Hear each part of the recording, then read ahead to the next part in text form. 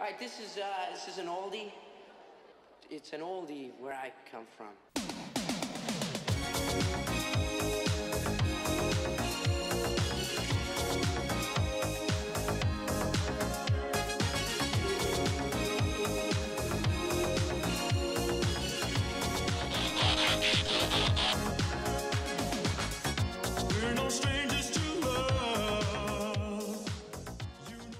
Hi, and welcome to Rudy's Movie Reviews, San Antonio's official movie critic.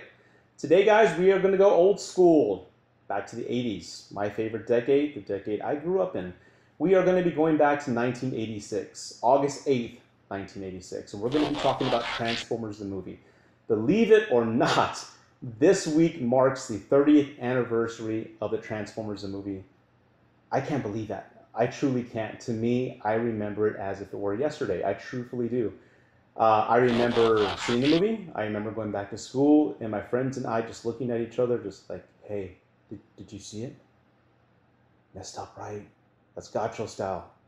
I don't know what that meant, but that's what we said back then. It's Gacho style. But yeah, so I'm going to go ahead and talk about that summer in 86 and how it really made an impact on me and I'm sure every other boy and girl who were fans of the Transformers cartoon series and really the lasting effect it had on me as an adult right now. So let's go ahead and get started. Cue the cool intro.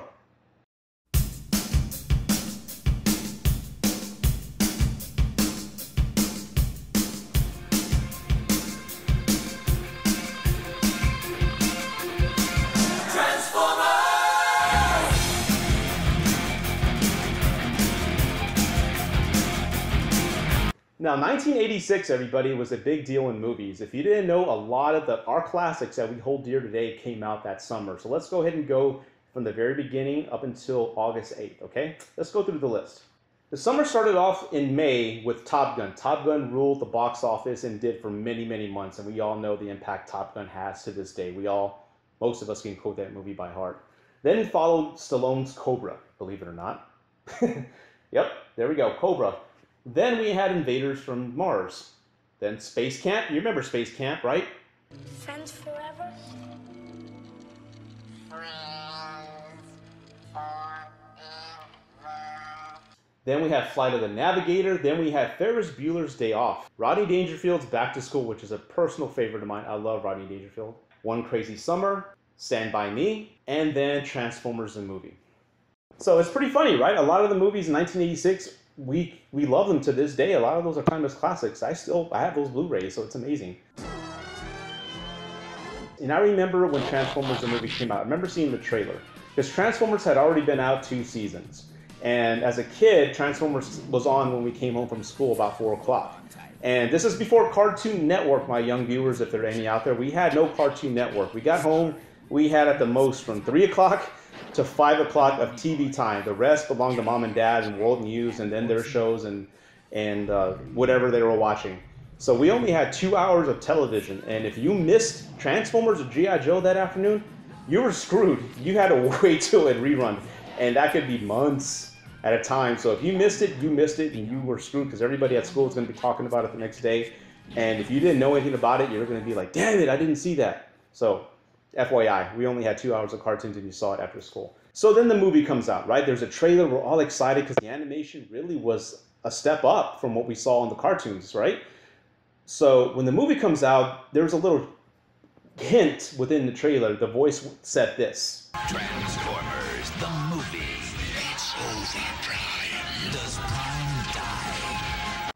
Does Prime die? What the hell is he talking about? this Prime die? I didn't get what he was talking about. We go. The movie comes out. I remember initially it was tough to find a theater that showed the movie because most theaters in San Antonio at the time, you really had to go far. I mean, all we had was the um, Santikos Century Plaza. And the movie starts. And what do we get? We get an eerie planet, this huge thing devouring a planet of millions of people and eating them alive. And I remember seeing him chomp away and just eating everybody. And I'm like, what the hell am I seeing? There's people dying here. There were kids just a second ago within that shot. Everyone's dead. I'm like, holy crap. That freaked me out as a kid. I was nine years old when it came out. So then the credits start. Then we get this cool intro.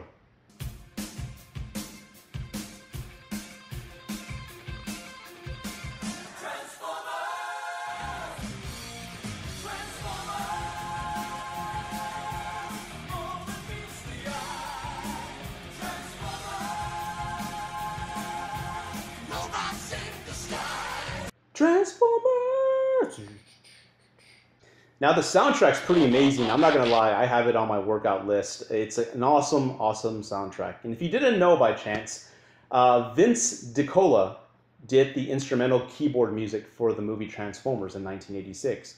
But he did a previous movie last year. You may know it as Rocky 4.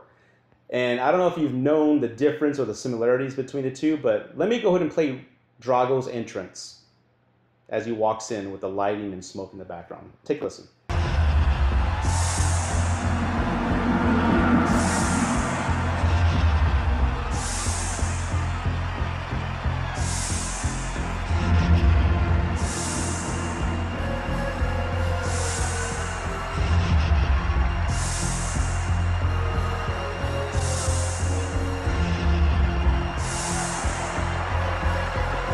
Okay, pretty timeless, right? Now let me play Unicrons.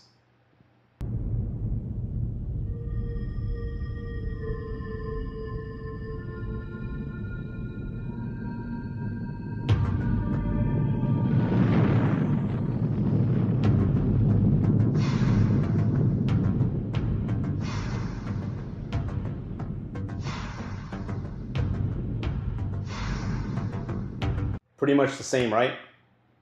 Yeah, I, I remember catching that a few years ago. Like I was a teenager at the time. I'm like, oh, that doesn't sound like Drago's entrance. I'm like, wow.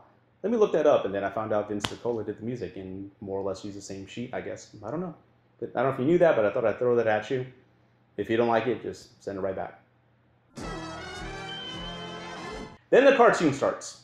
We have Laserbeak spying on the Autobots. We have that voiceover. It's 2005. Man, they were way off, weren't they? But it was pretty cool to see Laserbeak, Optimus, Prowl, everybody that I was familiar with. Like, hey, that's that's my cartoons right on the freaking movie screen. I was really excited. But I remember having a sense of fear because a planet ate a planet. So I remember having that fear, like, oh my god, like this guy's probably gonna come. They're gonna have to fight him. I don't know what's gonna happen. So the movie starts, and of course they're always low on energon cubes and you know reserves and things like that. So they they're getting ready to launch. So I'm like, okay, this is pretty cool. This is what I'm used to. Let's see what happens. And then we get Megatron's attack on the Autobot ship. Holy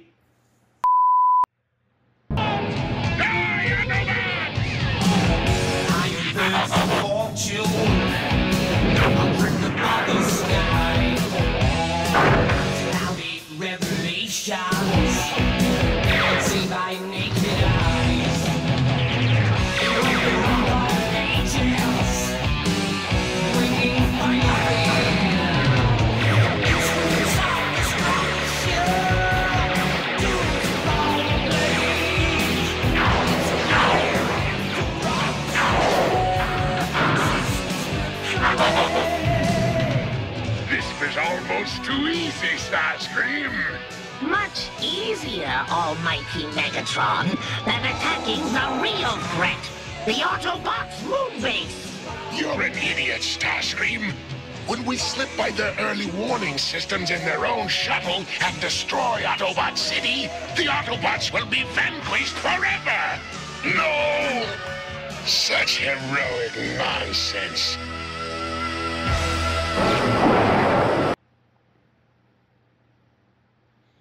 Yeah. They were killed. Brawn, Prowl, Ironhide. In the face. Megatron shot him in the face at the end. I'm not going to lie, to this day, it's still in my mind how I felt when I saw that. I was completely shocked. I couldn't believe what I was seeing.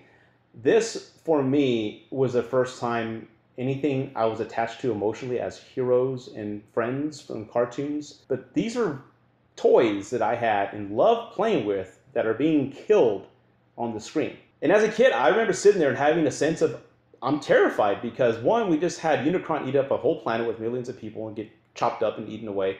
Now we have Megatron and Starscream who just killed four of my favorite Transformers. And of course, we know what happens after that. Megatron and everybody go, they invade Autobot City, there's a huge battle, and then we have the coolest animation sequence of all time with Optimus Prime going into battle. Must be stopped, no matter the cost.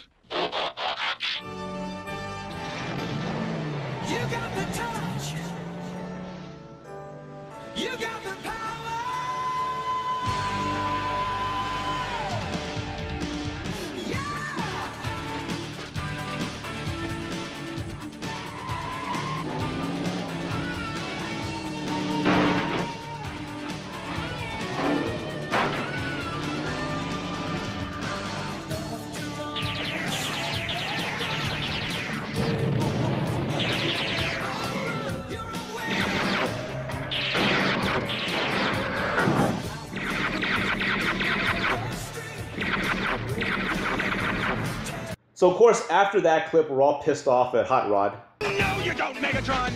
Out of the way, Hot Rod!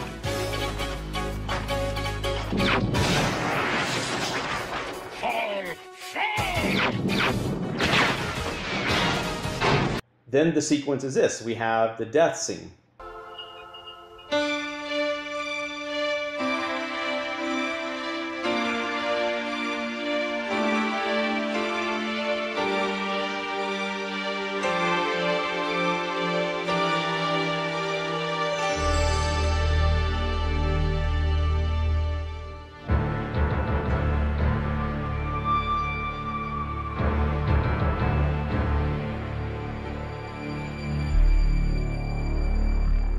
Death scene to this day, if you look on YouTube, there's it's posted by hundreds and hundreds of people, and you can read the comments and you can see how this scene impacted thousands, if not millions, of fans, boys and girls who were fans of the Transformer scene.